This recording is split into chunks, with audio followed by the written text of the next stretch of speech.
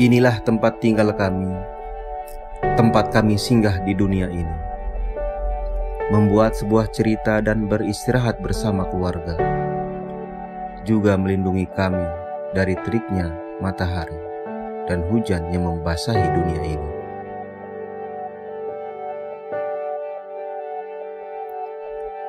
Namun, kondisi telah mengubah semuanya.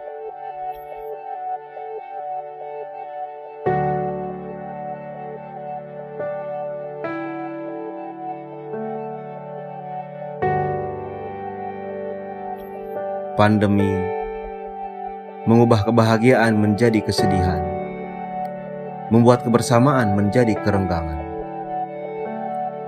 Tak banyak yang berani untuk peduli kepada sesama di saat situasi seperti ini.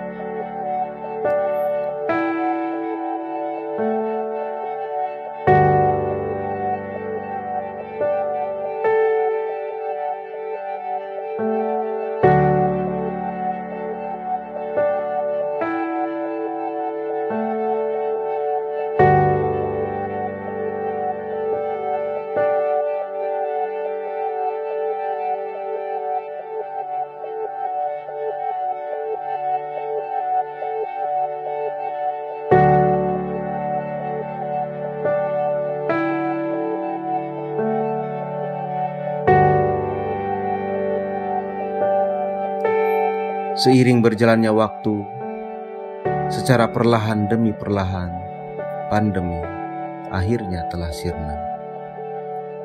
Namun, masih menyisakan rasa trauma yang amat mendalam.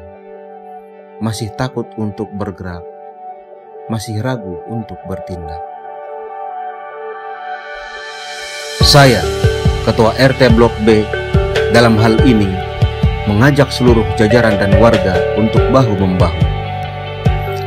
Bangkitkan kembali semangat, ciptakan aktivitas yang bermanfaat. Hingga Alhamdulillah, kami dibantu oleh Yayasan Banten Berakhlak yang diinisiasi oleh Bapak Erick Thohir, seorang pemimpin yang mahir. Inilah upaya kami dalam membangkitkan semangat dan membangun aktivitas dalam rangka memulihkan kondisi setelah pandemi yang dibantu oleh Bapak Erick Thohir.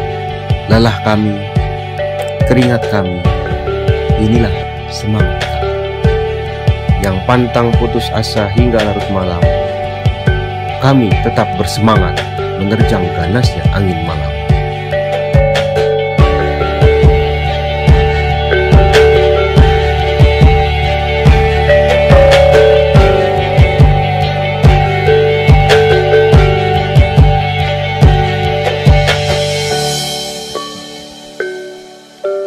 Terima kasih.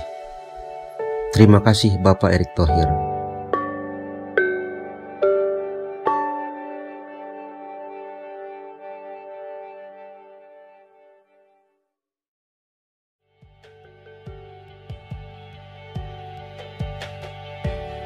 Berkat mula